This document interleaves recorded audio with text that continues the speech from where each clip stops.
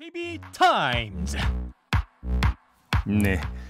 JB TIMES 시작하겠습니다. 저와 함께하는 분이죠. 더 막내 작가 나와 계십니다. 어서 오세요. 네, 안녕하세요. 더마카입니다. 네. 어디 갈래님이 더마카 나와라 오바 해주셨고요. 네. 나왔습니다, 오바. 음. 그리고 남쪽 바다님이 반갑습니다. 시선 집중 좋아요.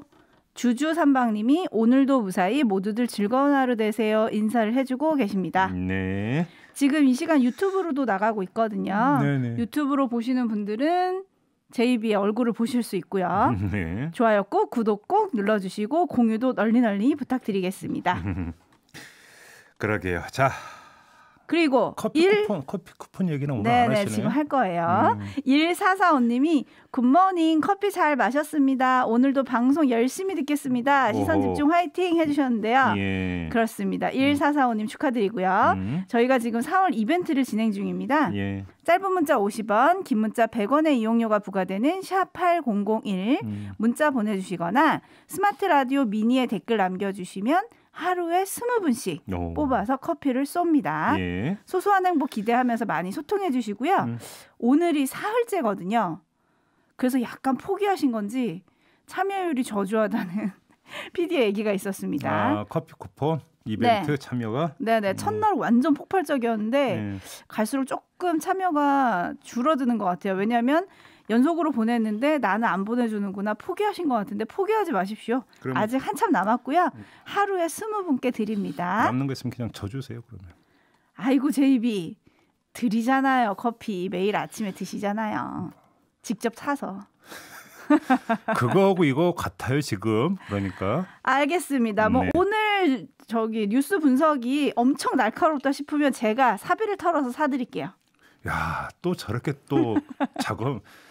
야, 알겠습니다. 예, 예. 아, 말문이 막히시나요? 예, 압박이 너무 아침부터 너무 심한 것 같은데. 네. 자, AS 타임 가보겠습니다. 예. 어제 저희가 정경유착 시간에 홍남기 부총리 교체설과 그간의 평가를 좀 해봤잖아요. 네, 네. 그랬더니 KS2로 시작하시는 분이 아, 문재인 정부 가장 큰 단점이 인사다 해주셨거든요. 네. 그런데 어제는 정세균 총리가 곧 사의를 표명할 거라는 뉴스가 나왔어요. 예. 벌써 후임 하마평까지 등장을 했습니다. 여, 여러 사람 거론되던데. 네. 예. 근데 정세균 총리 측이 말하기를 대통령 개각 고민을 덜어주기 위해서다. 그래서 이르면 다음 주에 사의를 표명할 거다라고 했거든요. 네. 이게 정말 개각 고민을 덜어주려고 하는 건지 아니면 본인의 대권 가도를 위한 건지 어떻게 봐야 될까요? 근데 일단 좀 약간 그 과장을 조금 섞어 갖고 네. 이게 뉴스입니까? 왜 그러냐면 뉴스냐고요? 뉴스라고 하는 것은 새로운 거잖아요. 아 그렇죠. 근데 뭐냐면 익히 다 알려졌던 얘기 아닌가요? 그런 아. 면에서 지금 반문을 하는 거거든요. 왜 아, 그러냐면 어, 보궐선거 뒤에 정세균 총리가 음, 총리직에서 사임을 하고 당으로 돌아와서 대선 도전에 나설 거다라는 얘기는 사실은 뭐 거의 공공연한 비밀처럼 다 입에 오르내렸던 얘기 아닙니까? 그렇죠. 근데 왜냐하면 보선 후가 이제 결국은 적절한 타이밍이라고 봤던 이유가 민주당 입장에서 보선에서 승리를 하든 패배를 하든 그게 총리직 사퇴의 명분이 된다는 것이죠.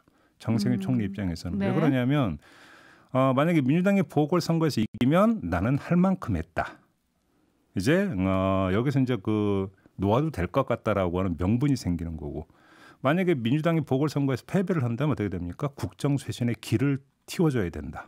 또 이런 차원이 성립이 되는 거잖아요. 네. 그렇기 때문에 어, 대선을 염두에 두고 있는 정세균 총리 입장에서는 보선 직후가 아마 총리직 사퇴의 타이밍이 될 거다는 얘기는 많이 나왔었던 거죠. 음. 근데 어떤 분들은 또 그런 얘기 하시더라고요. 그러면 방역의 최전선은 누가 지키냐? 아 방역의 최전선, 네. 아 방역 대책 본부가 있지 않습니까? 아 그렇군요. 네. 알겠습니다. 총리 총리 혼자 하는 건 아니니까. HBY 아님이 네, 개각 고민을 덜려면 끝까지 가야지 해주셨고 네. 초원님도 본인의 이익이 우선 아닐까요? 음. 뭐 다들 이렇게 생각하시는 것 같습니다. 네, 네. 자 그러면 오늘 아침 챙겨야 할 뉴스와 JB의 분석이 더 얹어져서 풍성한 JB 타임즈 첫 번째 뉴스는 오디오로 먼저 만나보겠습니다. 이 내곡동 문제와 관련해서요. 민생은 관심이 없으시군요. 관련이 없습니까? 어떻게 연결이 됩니까? 한번 설명을 집값이 해보세요. 민생하고 관련이 없습니까? 혹시 생태탕 때문에 관계가 되나요? 생태탕 어, 그럴 수? 있겠네요. 서로 거짓말을 한다며 고성과 함께 비난 수위를 최고치로 끌어올렸습니다. 거짓말한 시장이 그 후보가 시장이 되면 자라나는 아이들에게 가르칠 것이 없습니다. 박영선 후보가 거짓말의 본체라고 생각합니다. 존재 자체가 거짓말 아닙니까? 존재 자체가 거짓말이다. 그렇지 않습니까? 그것은 이제 계속 오세훈을 거짓말쟁이로 한 게 누굽니까? 아, 뭐 엄청 뜨겁죠. 네, 어제 진짜 재밌었어요. 이 부분. 예, 생태탕 관련해서 그죠? 네. 근데 좀 정리를 해드리면 생태탕집 주인 황모 씨와 아들이 지난 2일 TBS 인터뷰에서 오세훈 후보가 2005년 6월에 자신의 식당에서 점심 식사를 했다고 밝히지 않았습니까? 네. 다음 날 일요 시사가 4일 전 우리가 취재했을 때 황 씨는 기억이 안 난다고 말했다 이렇게 음. 보도를 했어요. 그래서 말 바꾸기 아니냐 또 보도를 이런 식으로 이제 보도를 했는데 그러자 국민의힘이 황 씨 주장의 신빙성을 제기를 했고요. 그러자 어제 다시 음, 이 생태탕집 TBS 인터뷰를 갖지 않았습니까? 했습니다. 그래서 어머니가 처음에 자식들 걱정에 대해서 모른다고 대답한 것이다. 일요 시사 기자에게 이렇게 그 대답을 했던 이유를 밝혔고요. 신용카드 내역을 받아오겠다. 뭐 이런 말도 나중에 했는데 이거에 대해서 국민의힘의 김종인 비대위원장은 기획된 것이다 이렇게 일축을 했고요. 주호영 원내대표는 김대엽이 생각난다라는 말까지 했습니다. 추억의 이름입니다. 네. 그렇죠. 그 이제 과거 대선에서 이회창 당시 후보 아들의 어떤 병역 비리 의혹을 제기를 했는데 나중에 이제 법정에서 그것이 사실이 아니다라는 판결을 나온 걸 가지고 이게 제2의 김대엽 아니냐 이런 식으로 이제 주호영 원내대표가 공고, 공격을 한 거였죠. 결국은 지금 막판에 나타나고 있는 양상은 진실 게임 양상으로 좀 흘러가고 있는 거 아니겠습니까? 네. 여기에다가 어제 오후에 보니까 보수 언론까지 가세를 해가지고 이 생태탕집인가 주인 모자에 뭐이 발언의 신빙성을 깎아내리는 그런 보도도 네, 이제 뭐 과거 행적을 내어놨더라고요. 캐는 기사들이 좀 있었습니다. 그렇습니다. 뭐 거의 어떤 그 불태전의 어떤 싸움이 지금 뭐 진행이 되는 것 같은데, 네. 근데 어차피 이제 그 저희 그러니까 JB 타임스의 모토는 삐딱선이기 때문에 삐딱선. 삐딱하게 한번 좀 문제 제기를 해보겠습니다. 아하, 어떤 이 거죠? 생태탕집의 좌표는 뭘까요? 좌표? 번, 지수가 어디일까요? 아, 무슨 이야기냐면 이 생태탕 집은 나홀로 식당일까요? 골목길 끝 식당일까요? 약간 비유가 그런데 제가 왜 이 말씀을 드리냐면 결론부터 말씀드리면 이 생태탕 집은 골목길 끝에 있는 식당이다. 골목길 끝? 나홀로 식당이 아니다. 이 말씀을 아. 드리는 건데 네. 무슨 이야기냐면 어, 생태탕집 주인 모자의 발언이 유일한 발언이 아니라는 거예요. 유일한 발언이 아니다. 예, 무슨 얘기냐면 그 전에 이미 경작인과 측량 팀장의 증언이 나온 바가 있지 않습니까? 있죠. 이 측량 현장에 오세훈 후보가 있었다. 이런 증인이 있었고 이 증언에 어떤 내용이 있었냐면 생태탕집 가서 밥 먹었다라는 증언이 있었고 네. 그래서 이제 생태탕집 주인 모자가 등장을 하는 거잖아요. 자 그러면 이런 어떤 그 반문을 한번 던져볼 수가 있는 거죠. 아, 만약에 생태탕집 모자의 어떤 주장이 탄핵이 된다면 내지 입증이 되지 않는다라면 그것으로 그냥 모든 게 끝이냐. 그래서 이게 유이 나홀로 식당이냐 골목길 끝 식당이냐를 물어본 거예요. 그러면 음, 이전에 경작인들과 측량 팀장의 증언은 더불어 그러면 같이 순장되는 것이냐? 음, 그건 아니지 않느냐는 것이죠. 그렇죠. 그렇지 않습니까? 네. 생태탕집 주인 주장이 탄핵된다고 해서 측량 참여 의혹이 일소되는 것이냐? 그럼 다른 증언은 어떻게 되는 것이냐? 이거에 대한 물음표를 던져야 되는데 아니요라는 대답은 나올 수가 있는 거죠. 이렇게 놓고 본다면 생태탕집 그 하나가 모든 것을 가르는 결정적인 것으로 볼 이유도 없다. 주변에 다른 것들도 있다. 다른 증언들도 살펴봐야 된다. 입체적으로 봐야 되는 것이고 입체의 여러 면 가운데 하나가 생태탕집 아니냐. 일단 이 점을 전제해 놓고 지금 오가고 있는 공방을 봐야 되는 거 아니냐. 이 점만 제기하는 겁니다. 저는. 음. 네, 언론들이 생태탕만 남았다라고 했지만 생태탕만 남은 건 아니다 이 그렇습니다. 말씀이신데 그렇습니다. 오세훈 후보는 어제 여러 번 강조했어요. 시종일관 대질심은 한 번이면 끝난다. 음. 한 번이면 끝난다. 근데 그거는 수사기관이 부르면 하겠다. 이렇게 얘기를 했었죠.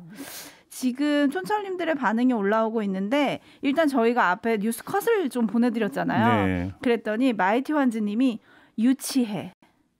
아, 공방이 네.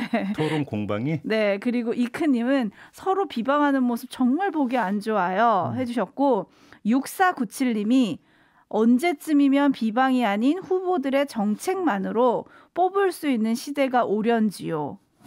아 이건 진짜 정답인데 이런 시대가 올지 모르겠습니다. 예. 요렇게 덧붙여 주셨어요. 음. 더마카가 후보로 나오면 찍어주고 싶네요. 자, 빨리 다음으로 넘어가야 되겠죠? 네, 김수리 님이 서로 거짓말이면 네. 누가 거짓말쟁이인가? 음. 요거 밝혀질까요? 근데 문제는 지금 이제 그 거짓말을 민주당 쪽에서 강조하고 있는 이야기는 공직선거법상 허위사실 공표. 음. 그러니까 이거는 나중에 선거가 끝난다더라도 문제가 된다는 점을 지금 이제 민주당 쪽에서는 강조를 하고 있는 거고 네, 국민의힘에서는 거짓말이라고 하는 그 주장이 거짓말이다라고 지금 맞받아치고 있는 거죠. 그렇죠. 이렇게 되어버리면 선거 과정에서 뭐 토론이나 이런 과정에서 오갔던 이야기 자체가 사후 사법적 검증을 받게 된다는 이야기인데 자. 그 끝이 있을지는 한번 좀 봐야 되는 문제 아니겠습니까? 그렇습니다. 이건 음. 왠지 선거 가 끝나도 계속될 공방이 되지 않을까 음. 싶은 네. 예감이 들고요. JB타임즈 다음 주목할 뉴스는 뭘까요? 네. 자 어제 한겨레가 보도를 했었는데요. 윤석열 전 검찰총장의 장모 최모 씨가 대표로 있던 부동산 개발회사 ESIND가 2006년에 경기도 양평 공흥리 일대 임야 16,550제곱미터를 사들였고. 또 최 씨 개인 명의로 농지 2,965제곱미터를 사들였다. 이런 요지의 보도를 내놨어요. 그리고 나서 2011년에 양평군의 공동주택 조성을 어, 위한 도시개발구역 지정을 요청을 했고 양평군은 이듬해 11월에 도시개발구역 지정을 승인해 줬다. 최 씨는 이후 아파트를 지어서 분양을 해서 수백억 대의 수익을 챙겼다. 네, 이게 어제 한겨레 보도 내용의 골자였거든요. 그랬죠. 여기 또 문제가 있나요? 그 이 최초 보도한 한겨레는 투기 의혹과 도시개발구역 지정 승인 과정의 의혹을 제기를 했지만 이건 다 생략을 하고 딱 하나 농지법 위반 의혹만 한번 봅시다. 아, 또 농지법. 예, 예. 직접 농사를 짓지 않는 사람이 농지를 사면 농지법 위반인 건 뭐 그동안에 하도 많이 나와 가지고 더 설명을 안 드려도 다들 거 아실? 거예요. 네. 근데 지금 예를 들어서 임야는 그 이 부동산 개발회사 명의로 사들였지만 농지 2,965 제곱미터는 최 씨가 자기 명의로 사들였다는 거 아니겠습니까? 자 아무튼 어제 한겨레 보도가 나온 다음에 이 최 씨의 변호인인 손경식 변호사가 입장문을 내놨습니다. 냈습니다. 네. 반박을 했는데 부동산 개발 인허가를 받기 전까지는 농지로서 기능하도록 농사를 짓고 관할 관청의 감독까지 받았다. 그러면서 제3자를 통해 경작했다 이렇게 밝혔는데 제3자를 통해서 여기서도 이해가 안 되는 게그 제3자를 통해서 경작을 했다? 그럼 소작을 줬다라는 건가? 근데 아주 특별한 경우가 아니면 소작은 허용이 안 되거든요. 그러면 네. 제3자를 통한 경작이라고 하는 게 뭔지가 좀 애매모호하고 잘 모르겠는데 제가 볼 때는 이게 아마 쟁점이 될 가능성이 있는 것 같습니다. 음, 진실을 그러면 어떻게 어떻게 가려야 되느냐? 네. 가릴 수 있는 것이냐? 네. 이게 이제 관심사 아니겠습니까? 그렇죠. 근데 답을 드리면 그 해법은 이미 윤석열 전 총장이 제시한 바가 있다. 윤석열 전 총장이 그렇습니다. 본인이 LH 사태가 터지고 난 직후에 윤석열 전 총장이 그 한마디 했던 거 기억나십니까? 보도가 엄청나게 나왔었는데 네. 이런 식의 말을 했었습니다. 공정해야 할 게임룰이 조작된 것이다. LH 사태를 이렇게 규정을 하면서 니편 내 편 가리지 않고 엄벌되는 걸 만천하에 보여줘야 한다. 이렇게 아. 말을 했거든요. 이게 해법이죠. 니 니편 편, 내내편 편. 가리지 않고 수사하면 다 나오는 거 아니겠습니까? 네, 이렇게 정리하겠습니다. 알겠습니다. 그런데 요건 어떻게 생각하세요? 그 변호사가 이런 말도 했거든요. 이거는 선거 전에 정치적 목적의 보도다. 그러니까 이제 그럼 한겨레가 정치적 목적을 갖고 보도를 했다는 건데 정치적 목적이라고 하는 것은 뭡니까? 어떤 특정한 정파에 유리하다 유리하지 않다의 문제가 되는 거 아니겠습니까? 네. 그렇게 되죠. 근데 지금 윤석열 전 총장은 공식적으로 정치 출마, 정치 참여를 선언을 했나요? 아 본인 스스로요? 네. 뭐 본인의 입으로는 말하지 않았지만 그다음에 뭐 자기가 어느 정 행동은 약간 보여주고 있는 것 어느 같기도 어느 하고. 정파에 소속된다고 이야기한 바 있나요? 근데 오히려 그런 것 자체가 정치적으로 또 과잉 해석하는 측면은 없는 건가요? 역으로도 음. 한번 되물어보고 싶은 부분이 있습니다. 네. 알겠습니다. 다음 뉴스 역시 부동산 얘기죠. 네, 그렇습니다. 얼마 전에 이 직접 직접 이 투기꾼 조사에 나선 용인시 원산면 주민 인터뷰였던 거 기억나십니까? 기억납니다. 그 바로 이 원산면에 투기한 혐의로 지난 2일 구속영장이 신청된 경기도청 공무원이 있어요. 네. 이 공무원이 소유한 땅에 대해서 법원이 몰수 보전 결정을 내렸습니다. 오. 그러니까 몰수 보전은 범죄 피의자가 몰수 대상인 불법 수익 재산을 임의로 처분하지 못하도록 하는 처분이거든요. 일단 딱 묶어 놓는 거죠. 네. 그러니까 이 이야기는 만약에 유죄가 확정이 되면 몰수한다는 뜻이 깔려 있다고 봐야 되는 게 맞겠죠 상식적으로. 자 그러면 이제 그 이게 정말 몰수로까지 가느냐 이게 관심사가 되는데 일단 이 공무원이 그러니까 이 공무원에게 적용되는 혐의가 뭐냐면 2018년 10월에 경기도 투자진흥과 팀장으로 재직하고 있을 때 아내가 대표로 있는 회사를 통해서 원산면 땅 1,500제곱미터를 5억 원에 사들였는데 이게 지금 25억 원 이상으로 올랐다고 그래요. 아, 다섯 배. 예. 그럼 다 몰수가 되나요? 그러니까요. 자, 경찰이 그 구속영장을 신청하면서 적용한 혐의가 뭐냐면 부패 방지법 위반 혐의거든요. 네. 그러니까 뭐냐면 어, 부패 방지법 위반 혐의가 만약에 유죄로 확정이 되는 몰수는 가능해요. 그런데 문제는 부패 방지법 위반 혐의가 입증이 되느냐, 법원에서 받아들이느냐 이건데 관건은 네. 뭐냐면 공무상 비밀을 이용해서 부당 이득을 챙긴 거냐 아니냐 음. 이거죠. 그런데 이 공무원이 땅을 매입한 시기는 경기도가 기획재정부 산업자원부 등을 방문해서 반도체 클러스터 조성을 건의하던 2018년 10월이라고 이렇게 했거든요. 경찰은. 네. 근데 자 우리와 인터뷰했던 원산면 주민통합대책위원장 이분이 그 우리와 인터뷰에서 이야기한 거는 2016년부터 클러스터 도면이 떠돌았다고 밝힌 바가 있어요. 네, 소문이 엄청났대요, 그때. 그렇습니다. 이미 이제 그 도면이 떠돌았다고 이제 밝혔는데 만약에 이 공무원이 아, 떠돌던 도면을 보고 산 거다. 나는 공무상 비밀을 이용해서 산 게 아니다라고 만약에 해버리면 음. 그러면 이거를 탄핵할 수 있는 다른 물증을 재판 과정에서 제시할 수 있느냐. 그래서 입증할 수 있느냐. 다시 말해서 인터넷에 떠돌던 도면을 보고 산 게 아니라 공무상 얻은 비밀을 가지고 땅을 산 거다라는 걸 입증을 해야 된다라는 거죠. 네. 요게 제가 볼 때는 아마 포인트가 될 것 같은데 자 그러면 경찰의 수사 역량을 가늠하는 잣대가 아마 또 이게 될 가능성이 있다. 법원 판단이 어떻게 되는지 요걸 좀 지켜볼 필요가 있다는 것이죠. 일단 몰수를 하게 가능하게 됐다는 판정에 대해서 김재정 님이 음. 모처럼 법원에서 시원한 결정하셨네요. 네, 근데 다만 몰수하겠다가 아니라 몰수 예비 단계에 들어갔다 이렇게 이해를 그렇죠. 하시면 요게 되는 거죠. 끝은 아니다. 그렇습니다. 끝은 아니다. 요 말씀이시고 음. 위례님은 투기도 공무원이 하면 몰수고 일반인이 하면 놔두는 겁니까? 요거 이제 일반인들의 투기도 샅샅이 뒤져야 된다 요 말이고요. 그렇습니다. 요 뉴스 듣다 보니까 부당이득 소급 적용 한 해 만에 지금 국회는 계속 입시름 중이잖아요. 그 홍익표 의원이 범죄 수익 은닉 규제법 네. 개정안을 발의를 해서 다른 어떤 경우도 몰수를 할 수 있도록 하겠다. 아마 발의가 되지 않았나요?